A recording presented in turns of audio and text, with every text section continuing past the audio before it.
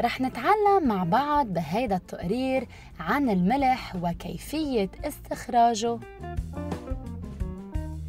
بيتكون الملح بشكل رئيسي من مركب كيميائي يسمى بكلورايد الصوديوم. هناك طريقتين لاستخراج الملح. أولاً تبخر مياه البحر. ثانياً البحث عن مناجم الملح في الأرض. يتم وضع مياه البحر المالحة ببرك صغيرة. وتترك حتى تتبخر المي ويبقى الملح. ومن ثم يتم تنقية الملح بالمصانع.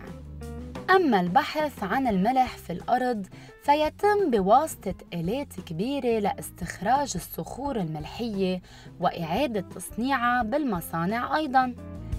الملح هو مكون أساسي للتذوق. ولكن كثرة الملح ممكن تسبب مشاكل صحية. مشان هيك يا أصحابي يجب استخدامه بكميات قليلة ومعتدلة. وهيك بيكون خلص تقريرنا. بتمنى تكونوا حبيتوه.